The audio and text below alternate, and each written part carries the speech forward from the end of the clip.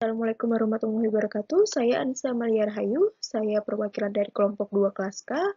Saya akan mempresentasikan tentang perhitungan dan pengukuran rasio Hosner.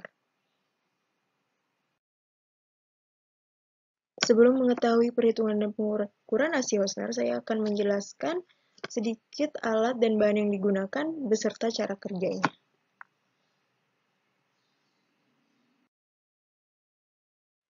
Untuk alat yang digunakan sendiri menggunakan alat tap density tester atau gelas ukur volume 100 ml. Dan untuk bahannya sendiri menggunakan sediaan paracetamol.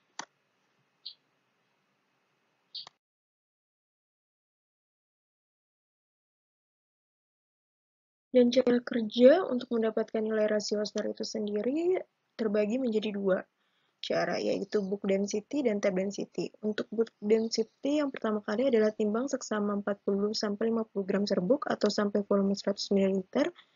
Kemudian dicatat botol serbuk tersebut, masukkan ke dalam gelas ukur, kemudian catat volume serbuk. Untuk tab density sendiri, yang pertama timbang seksama 40-50 gram serbuk atau sampai volume 100 ml.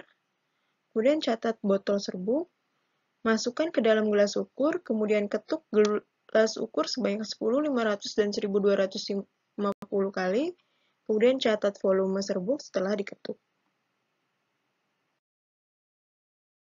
Cara dan alat uh, untuk mengetahui hasil dari rasio Hosner itu sendiri.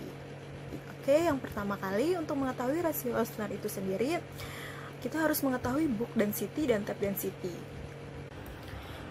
Ya, untuk bulk density sendiri itu dengan menggunakan rumus bobot serbuk dibagi volume serbuk. Untuk depth dan tap density dengan rumus bobot serbuk dibagi volume serbuk setelah diketuk.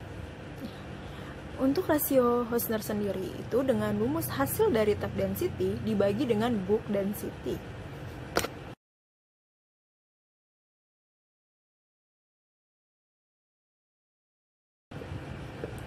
Selanjutnya ada contoh soal dari sediaan paracetamol. Diketahui di sini volume serbuk awalnya 100 ml, kemudian bobot serbuk yang ditimbang 43,5 gram.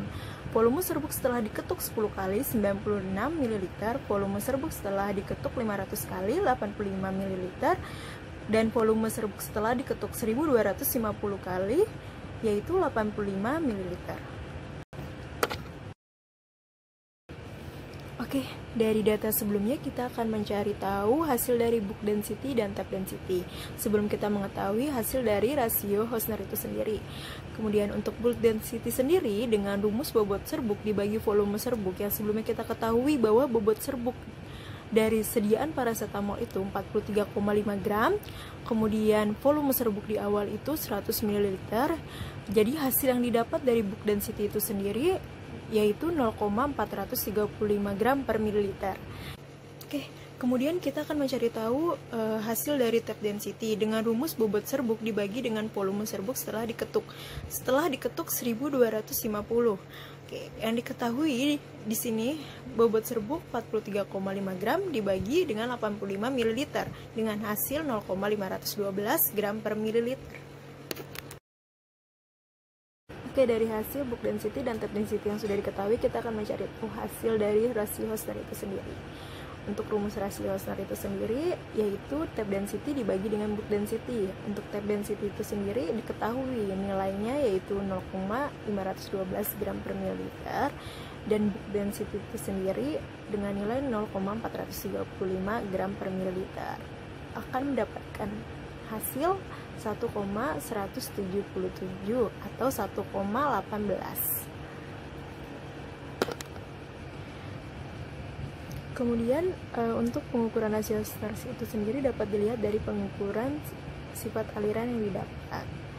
Dari nilai rasio star yang sudah didapat yaitu 1,177 memiliki sifat aliran yang mudah mengalir. Sekian presentasi dari saya. Terima kasih dan semoga bermanfaat.